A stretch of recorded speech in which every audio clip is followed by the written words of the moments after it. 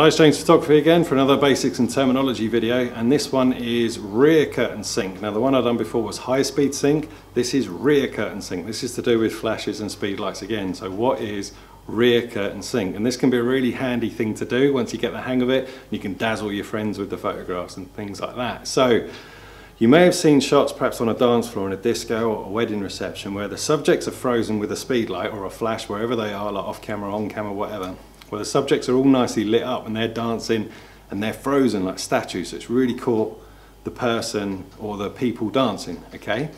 But around it, you've got swirling lights everywhere. Perhaps there's disco lights or just nice ambient lights and it's all swirling and there's motion as well. The people look like they're blurry, but then part of them is like razor sharp where they've been lit up by the flash. So it gives it that kind of cool sort of disco-y effect and you may see it in certain shots and you think, how does that work? Now that is rear curtain sync. Now the way it works is you drag your shutter, okay? So you put it on rear curtain sync with your, your speed light set up, however you've got it, and the flash will go off right at the very end, okay? So the shutter will be open for say 15th of a second, which is pretty quick, but to a camera that's very, very slow.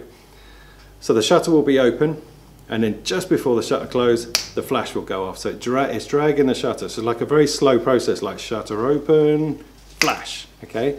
Now while that shutter's open, any movement at all, if you sort of slightly move it like that, any lights that are ambient are going to be blurry. It's going to paint the light. You know, like when you see car lights in a street shot at night where it's gone across, like the light is long and painted. And then right at the end, the flash will expose the subjects, the subjects that you're pointing at.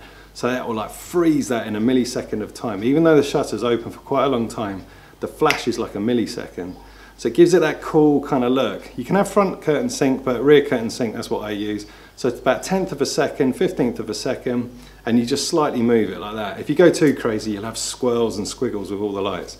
But that's what rear curtain sync is. So try it at 10th of a second, have your flash on rear curtain sync and your camera set up for that as well. Give it a go, just give it a slight movement and then you'll get those cool sort of looks and then you can impress all your friends with it and put it on Instagram and everyone will think you're amazing. But it's actually quite a simple thing and that's what rear curtain sync means. Thank you.